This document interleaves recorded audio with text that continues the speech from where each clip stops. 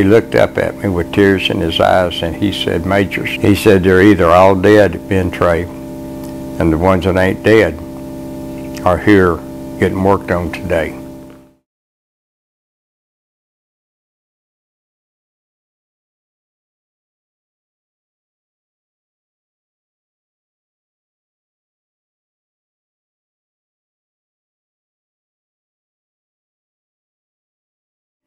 We landed, we had a few days off, and we received orders that we were going down to uh, Ben Tre. Ben Tre was the provincial capital of Kien Hoa province. Kien Hoa was about oh, 55, 60 miles from south, south of uh, Saigon in the heart of the Delta. You came into uh, the city of My Tho and you had to catch a ferry across the Mekong River. Ferry was oh, 15, 20 minute ride because the Mekong's a very large river. And once you hit the bank of the area, you had about another 15, 16 miles to get to Ben Tre. The base at Ben Tre was an army base and there were no real ground troops working in Kien Hoa province when we got there. It was a hotbed of enemy activity during the Tet Offensive of uh, 1968. The battle at Ben Tre during Tet was so bad.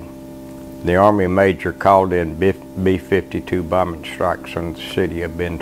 Final report that he wrote up was, we had to destroy the city to save the people. So if you're going to fight a war, Ben was a good place to be.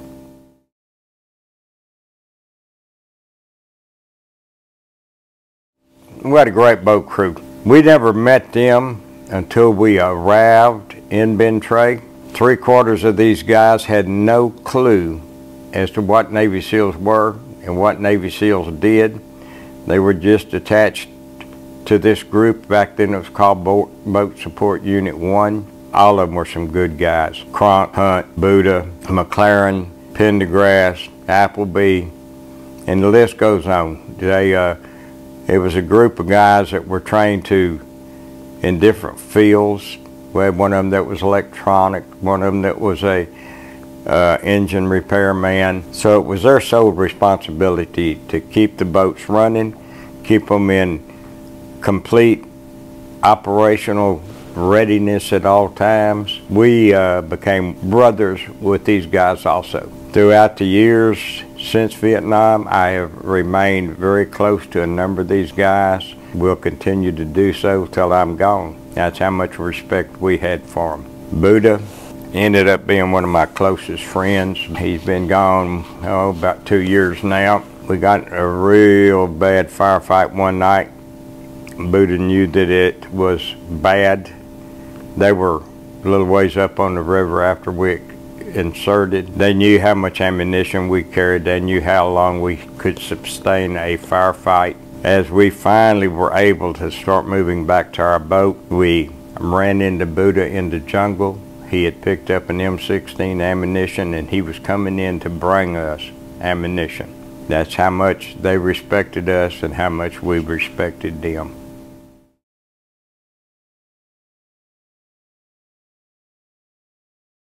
We didn't receive orders from anybody. Nobody in Vietnam sent us orders. Nobody at SEAL Team 1 in the United States sent us orders. We ran all of our own intel ourselves. We developed our own operations and operated on them. Frequently I would go into uh, Saigon with uh, Lieutenant Collins where we were going over different intel from the Army, the Marines. We would pick activity up that we knew was going on in our province and then we could develop our own plan of action of what we wanted to do. I have a large diary that uh, contains every op that we did during this period of time.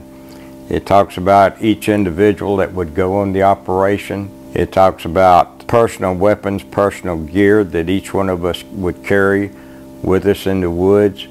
It would give the insertion points, extraction points, it'd give the terrain, it would give the current weather conditions. It would give a brief history of what we were going to do and who we were going after.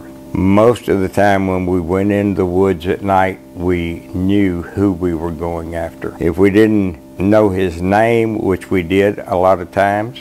We knew at least that we were going to go after a doctor, a dentist, a propaganda agent, a tax collector, a low level or a high level Viet Cong individual. As I go back through this diary and look at it, I, I think back now, you know, 50 years later.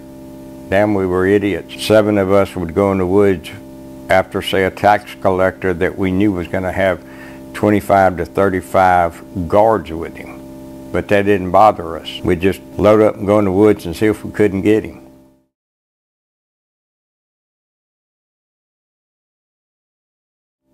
Thanh Phu secret zone, well, it stretched all the way up to the South China Sea and quite a bit of the way inland. There was a lot of Viet Cong movement in the South China Sea, bringing in weapons, medical supplies, or whatever to the enemy troop. There was a lot of massive movement all over Kien Hoa province. When we would be operating in Thanh Phu, we would hear them test firing 51 caliber Chinese made machine guns they have a distinctive sound. If you put a 50 caliber American made gun out there and a 51 caliber made Chinese weapon, you know which one was which when you heard it go off.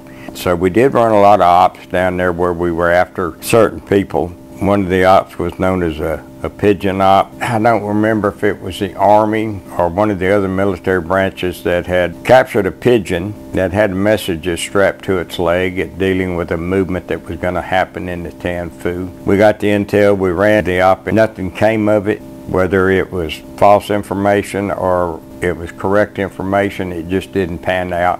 When you stop and think about a North Vietnamese soldier, They've been fighting that war for years and years and years. They were well trained. You can ask any soldier, combat soldier that ever came up against North Vietnamese troops, and he'll tell you how well trained they were. You did not want to back them up with just the South China Sea to their back and nowhere to go because they'd hand you a fight, and a fight you didn't want.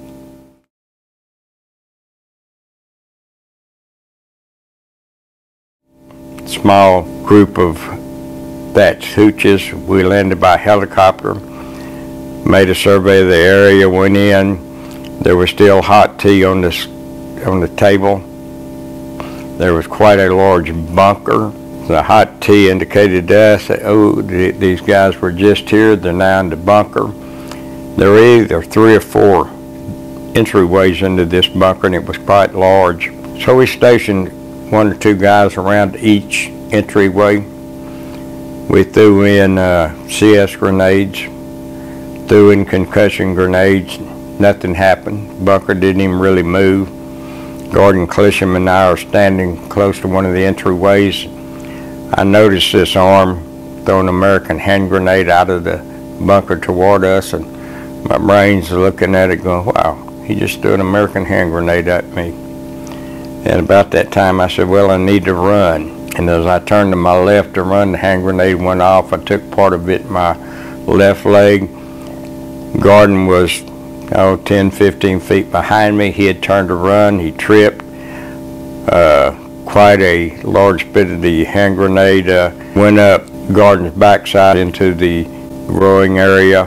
He was medevaced out, given a medical discharge from Uncle Sam and when we have our reunions back east, they're normally held at Gordon's home.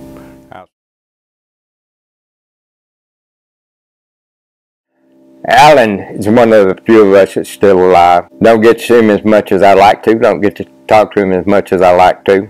Either November or December 70, we had uh, gone on an operation and stayed 14 or 15 hours or so. And we were coming up onto a factory that made homemade bombs and stuff in the jungle. We knew where we were going. We just took a long route to get there. The tributaries in Vietnam have a massive tidal flow change. That little creek can be 10 foot deep and 20 foot wide. When the tide's out, it's going down real fast and you might be in knee deep mud and only a foot of water.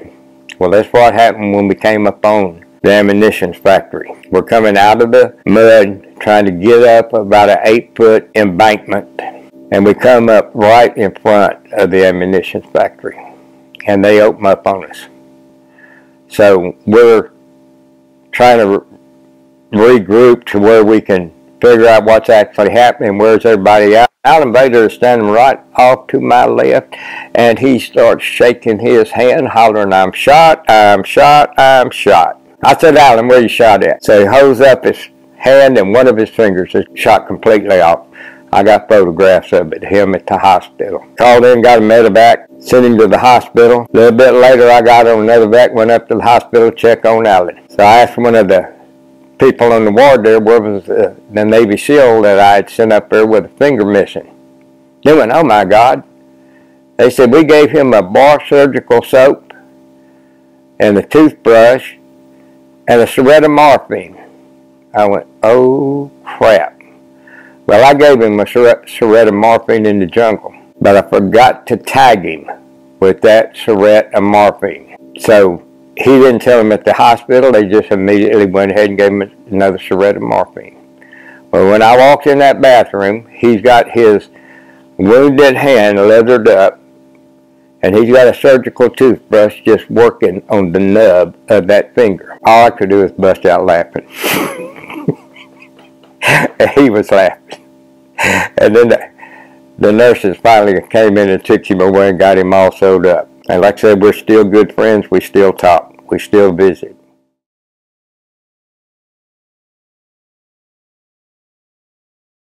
One of the other ops where we lost our first two guys, and there are certain things you're trained to do or not to do. One of the things that you're trained not to do, you never go back and insert into an insertion point that you have previously inserted in. Frank had ran a an op on this small tributary off of the truck gang, and about two weeks later, he took second squad F, that's him and six other guys. They inserted exactly the same spot that he had previously landed the boat in off, onto the shore. And the first thing that you would do, you would hit the beach Everybody got off that boat just as fast as they could. You would immediately sit down for 5, 10, 15, 20 minutes, whatever it took, and you would listen. The boat would pull back down the river ways and then pull into a riverbank and kind of hide itself in the dark. Now, like I said, this was Frank's seventh trip to Vietnam. He had been a PRU advisor on one of the trips right in Tre itself. Frank was a big man. He was probably at this time the largest SEAL operating. Frank was probably, I'm going to say 6'4", 6'5". Not really fat, but he was pushing 320 pounds. And we had all heard the legends of where he had walked into a Viet Cong ambush one night. They had never seen a man as big as Frank. They did not open up on him because they didn't think they could kill him. So after they had sat there that, that 10, 15 minutes, whatever it took, they stood up and proceeded into the jungle and all hell broke loose. The Viet Cong had come in and dug fighting holes and trenches a little ways inside the jungle. Jim Ritter was walking behind Ah. I was basically moved out upwards of maybe 10 yards. And then Ritter, walking point for the American SEALs, was behind him. Frank was behind Ritter. Rick Hetzel was the radioman for second squad. He was third in line. Right behind Rick was Happy Baker and then another Vietnamese scout that was down working for us. Well, as they stood up and started moving into the jungle, like I said, all hell broke loose. Jim Ritter took three rounds in the heart that I could have covered up with a silver dollar.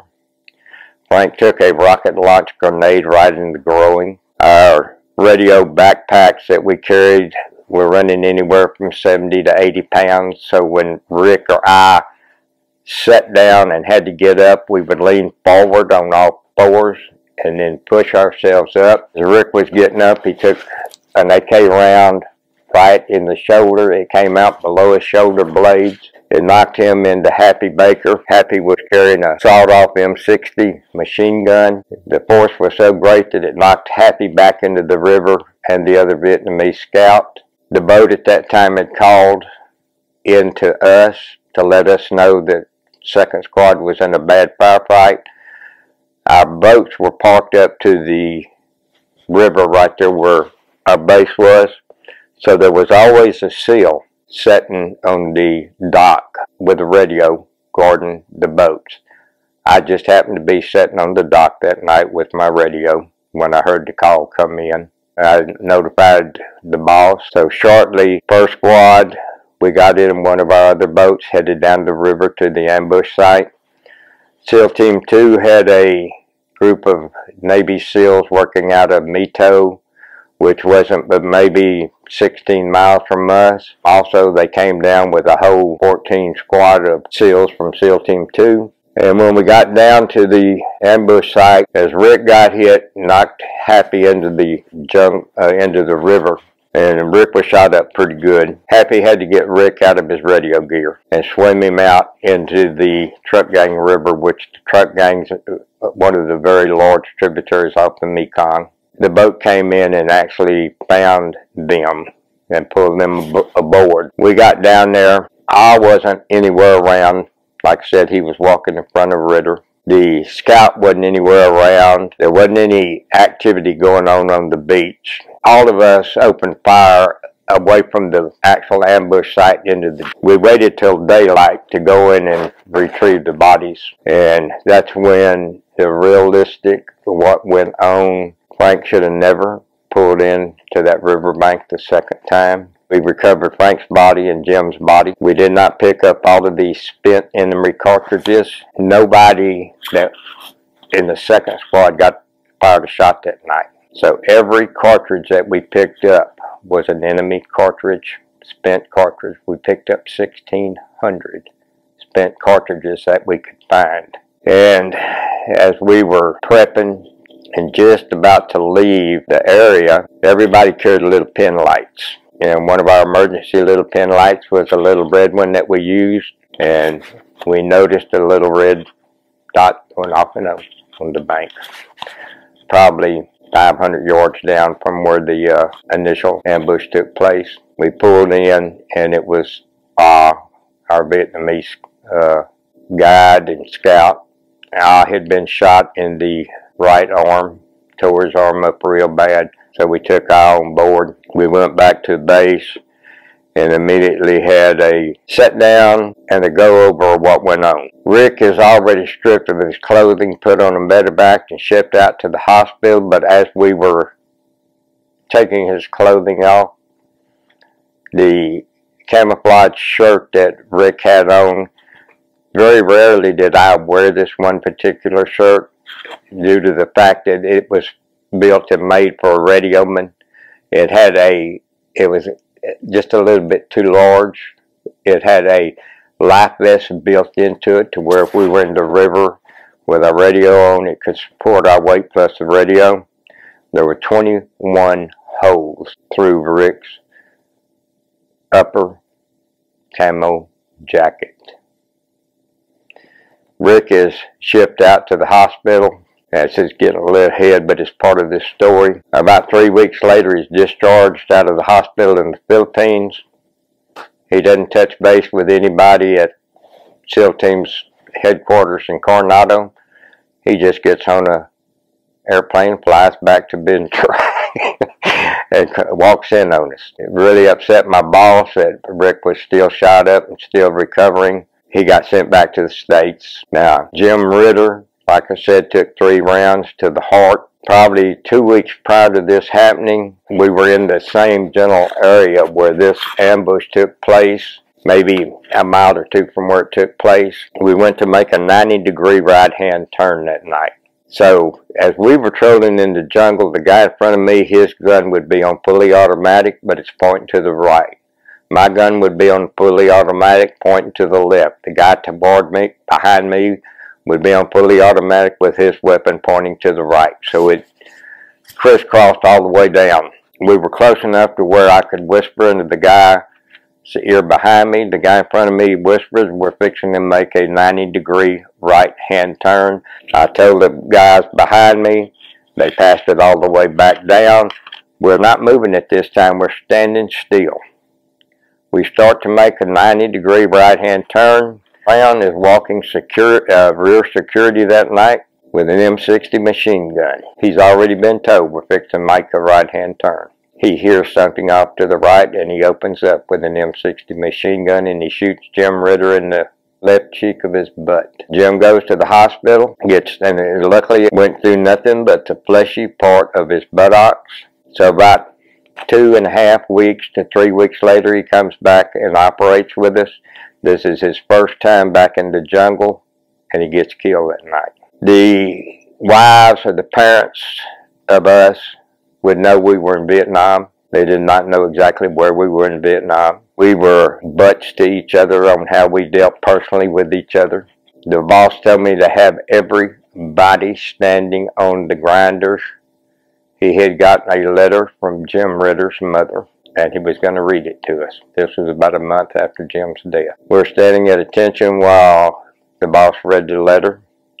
Miss Ritter says that Jim was doing what he wanted to do. She did not know the circumstances upon the death of her son, but she knew he was serving his country, doing what he wanted to do, and that was all she could ask of her son. And at that point there, when the boss got through reading the letter, he said, I just want y'all to remember and start treating each other a little bit better and not as much horseplay. So that was kind of a wake-up call. We're down into the secret zone. This was a another dumb daylight operation. There's seven guys in the woods. So noise is heard not too far off a small tributary. There are like five sampans. A sampan's like a Louisiana flat bottom pirogue. There were about anywhere from seven to ten guys in each one of the sampans. It's right about lunchtime. They pull into the riverbank not too far from the SEAL squad. Everybody at this point is hunkered down hiding. Walk a little ways into the dense jungle. They stack their rifles up in like a little teepee stand and they start cooking lunch. And then there's at least 30 of them. At this time, the SEAL squad is set up in an L-shaped ambush with these 30 guys pretty close to the middle of the ambush area. There are at least two M60 machine guns that shoot 800 rounds a minute. There's at least three Stoner machine guns that shoot close to 800 rounds a minute. There is one M16 with a 203 grenade launcher attached to that M16 and they're sitting there unarmed with their guns stacked up eating lunch as we're getting ready to open up on them. And I goes, I'm not going to shoot. He said, there's 30 of them, they'll kill us. I'm not going to shoot. We could not chance Brown not using his M60 machine gun. So the whole SEAL squad sits there until they're through eating and gets in their boats and leave. Then the SEAL squad gets in its boat and goes back to base. And the next morning, Brown is on his way back to the States and kicked out of SEAL team.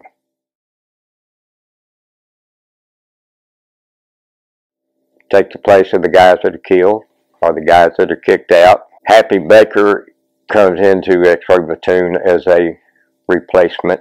Happy's a good guy. He just liked to drink and stay drunk too much, which caused a little problems with us, but he ended up finishing out the tour duty with us. Paul Barnes is sent to Uncle Dave's platoon as a replacement for one of their guys down at Rach Gia. We get another one of our guys killed just as Dave's platoon is shutting down and coming to stateside, and they end up sending Paul Barnes down to us as a replacement. Paul and I went through underwater demolition training together. We went to SEAL team together. So I'd known Paul since our beginning in, this in the middle of 69. While he's down at Rach Gia with Uncle Dave's platoon, they go out into the South China Sea one night and the officer in charge was Lieutenant Marsh the other guy, and there's four or five LDNNs, which are Vietnamese trained Navy SEALs. They're checking papers. Large sampan goes by them with no light on. They try to stop them. They they held them to stop. The enemy guys in this large sampan turns around and opens up on the two Navy SEALs and the four or five Vietnamese SEALs that are in the boat. Lieutenant Marsh is shot up real bad. All four or five of the Vietnamese SEALs in our boat are killed. Paul takes his stoner machine gun and just opens up on the sampan as it's going by and blowing them away. And when it's all said and done, Paul lowers his stoner machine gun in, in the stern of the boat. The boat just sinks with him. And so Paul is left out there with Lieutenant Marsh shot up real bad. Paul swims for the next three, four, five hours with Lieutenant Marsh under tow. And for this operation, Paul is awarded a Silver Star for saving Lieutenant Marsh's life. So Paul is sent down to work with us. It was a great pleasure to see my teammates show up from training and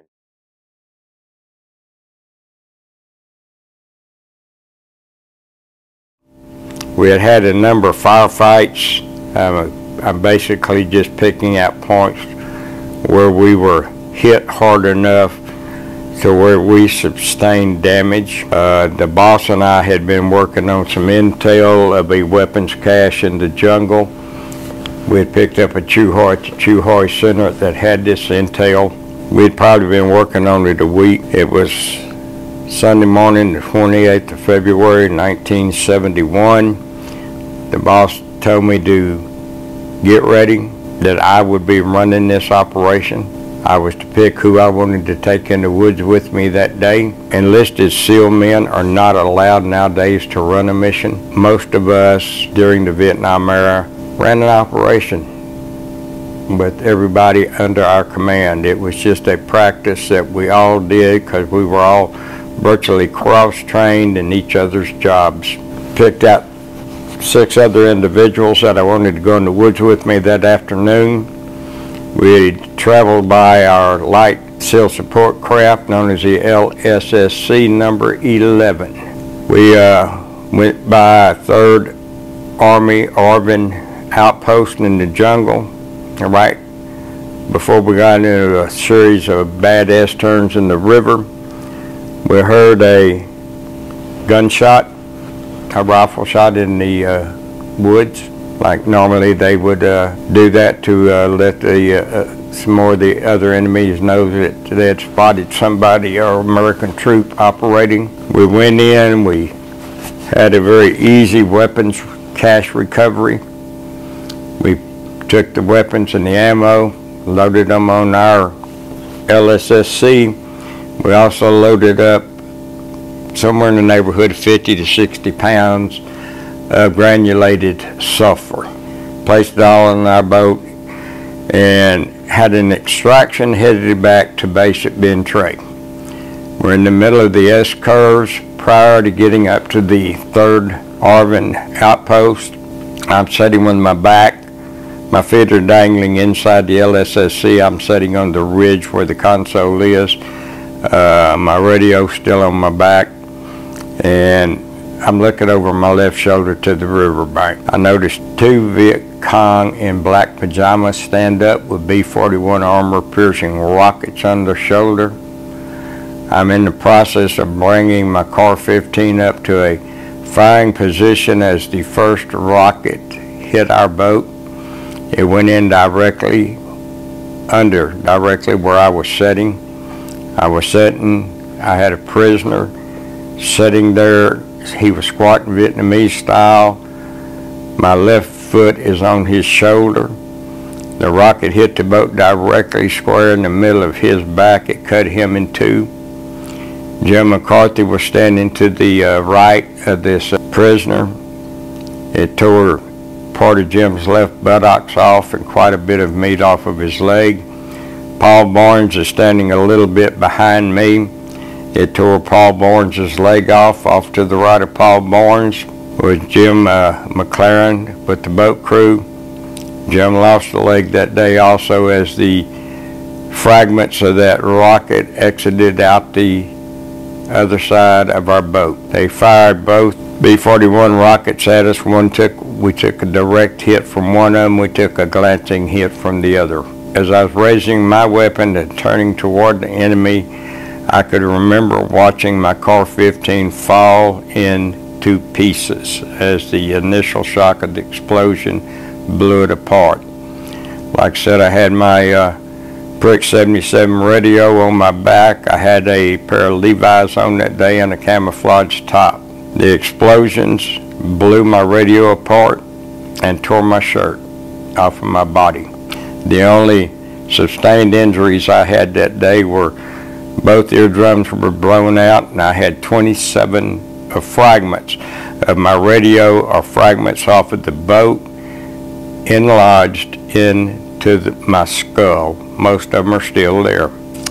I was able to get the radio up and running, notified the boss what had happened. We're still taking fire from the riverbanks as the boss and second squad show up. The initial blast of the B-41 rocket threw me on the inside of the boat. My face is laying in the buttocks of Jim McCarthy.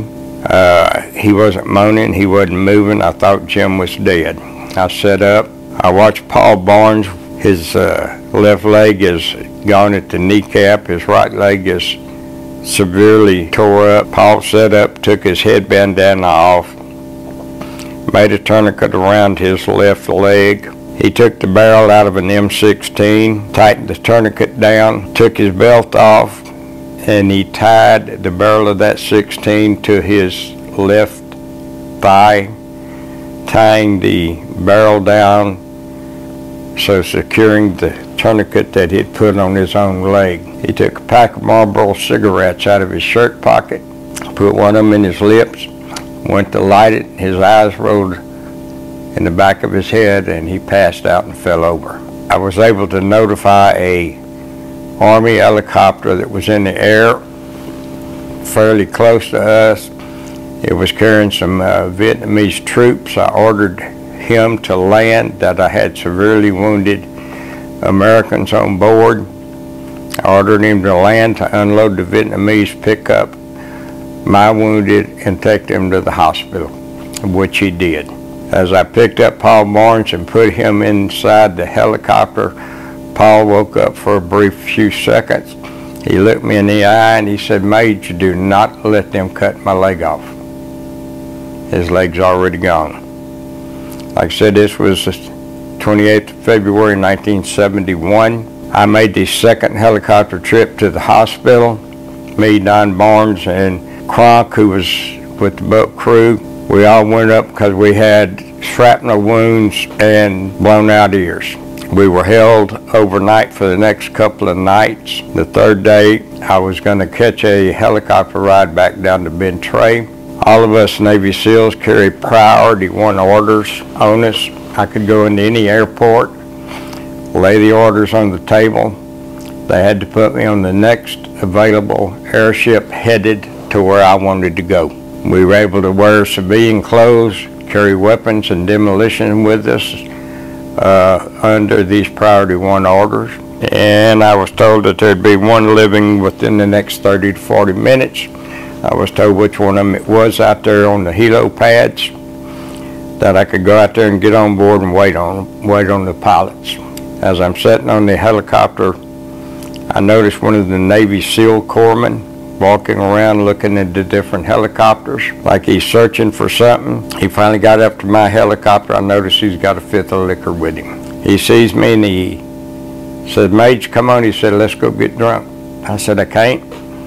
said, I'm going back to Ben Tre. He said, oh, you got time. He said, uh, let's go get drunk this morning. I told him I couldn't. I had to go back to work. He looked up at me with tears in his eyes and he said, Majors, he said, they're either all dead at Ben Tre and the ones that ain't dead are here getting worked on today. The boss had wanted to do one more operation before our tour duty ended, so he loaded up the guys and went on an operation in Thanh Phu Secret Zone, very close down to the South China Sea. This is the next time when we know that we had been set up.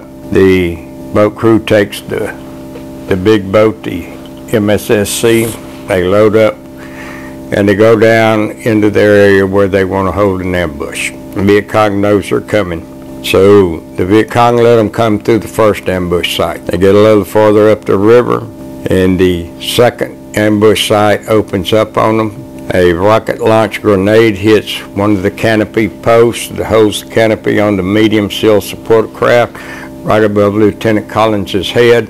Lieutenant Collins is killed with some very bad head injuries.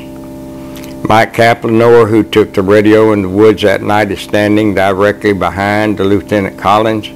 He took my place as a radioman, and Mike Kaplanor suffered some severe facial injuries. Ludacros, who was with 2nd Platoon, he's an East 7 petty officer in his sixth trip of duty to Vietnam at this point. Lou suffers some severe head wounds to where he ends up with a large metal plate in the front of his skull. He's medically retired from the military. Stateside shuts down X-ray platoon at this point. There's three of us left. We're to pack up our gear and ship it home, which is a job I didn't want to do. We got the gear packed up and shipped home. We're sitting at the Son Air Base. They're outside of Saigon waiting on our ride to go home. I don't remember sitting there. I don't remember making that flight home. I had brought this topic up with my wife numerous times over the years. She told me, she said, why don't you just call one of the guys that came home and ask them what happened. So like I said, there were three of us of the original 14 that was able to make that flight home. I called David Shadnall. David lived in Sault Ste. Marie, Michigan at the time.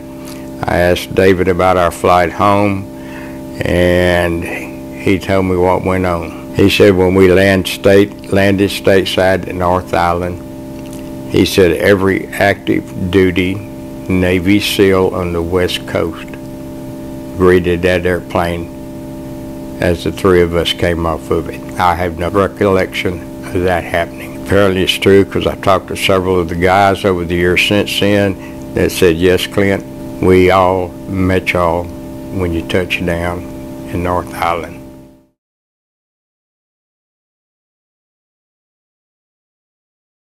Tip Amon, one of the Navy SEALs who did 30-something years active duty before he retired, was one of my friends that I went through all of my training with. Tip was there to pick up our light boat on the 28th of February when Paul lost his leg. Tip was also one of these SEALs that went in three days later to pick up the big boat. And Tip used this in his teaching of younger SEALs over the next 30 years about leaving brothers wounded or dead in the jungle and how to get them out. On the 28th of February, on that where Tip came in to get my boat out that we left in the jungle. Tip said that there were several M16s laying in the bottom of the boat. The boat was covered in so much blood you could not even see a 16 rifle. You had to dig through the blood to get equipment. I was wearing my camouflage beret that afternoon. It was gone. Paul Barnes goes to a SEAL Team 2 reunion 30 years later in Little Creek, Virginia. He is given the beret because they think it's Paul's. Paul said, no, but I know who that beret belongs to. Paul called me and he said, Clint, I just put something in the mail to you. I said, well, what is it? He said, when you get it, you call me. So when it showed up at my house and I got it open, I could not believe it. Paul did not wash it. It was sent to me with the blood still caked on it from 30 years prior. I knew exactly the minute I opened that box and looked down and saw that camouflage, I knew that that was my beret. So I washed it it stayed hung on my wall for a long time under the photograph of Paul Barnes. The wife and I and my daughter are sitting in my living room. My three-year-old granddaughter is running through the house.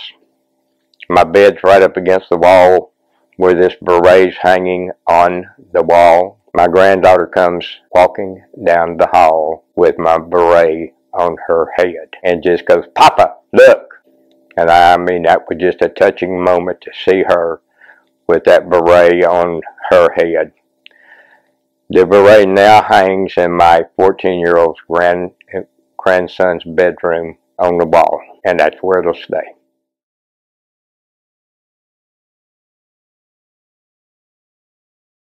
The fact that what I started with earlier, where we were the most shot up Navy SEAL to work in Vietnam. We also had a Vietnamese trained Navy SEAL that worked with us by the name of Tong.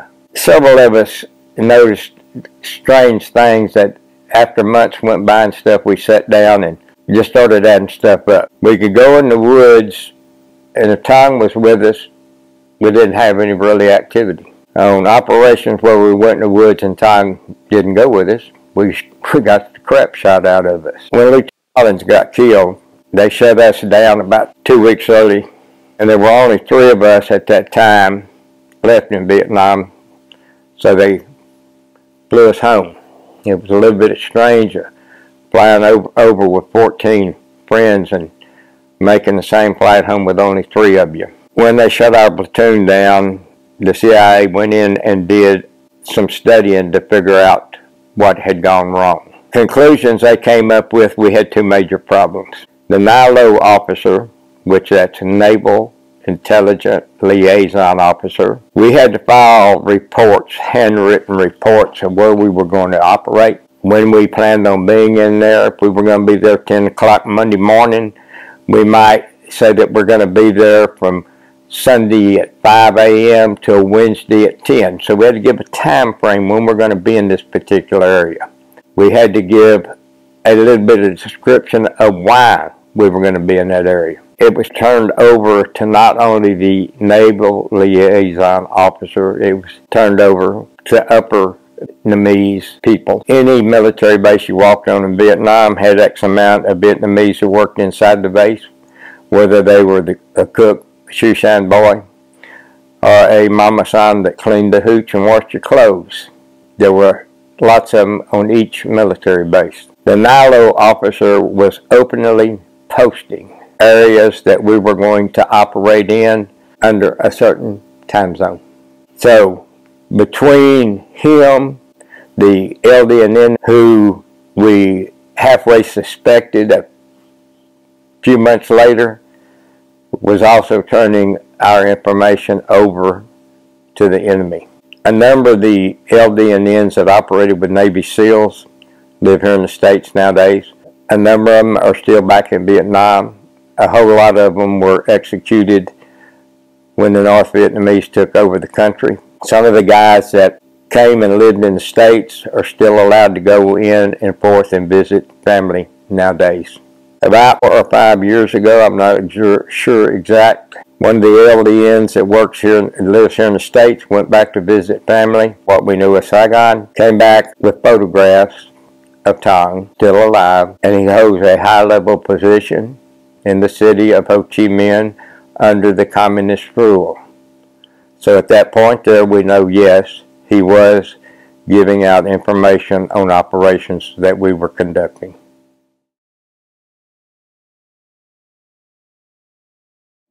Name of the book is Nightmares, And what it is, like I told you, I've got a written diary of every operation we did on this particular tour of duty. It's not really a war book. There's very little of the combat in there very little structured combat in there. It's more or less how over a last 50 year period with leaving Vietnam and putting up with the nightmares, with the memories, with three wrecked marriages, and the marriage number four to a lady that's been able to handle everything I dished out over the last 33 years. And that's basically what it is. None of the old SEALs have said anything bad about it. They've all told me they enjoyed it. They liked it. But they also told me to hurry up and write the war story that goes along with this period of Navy SEALs operating in Vietnam.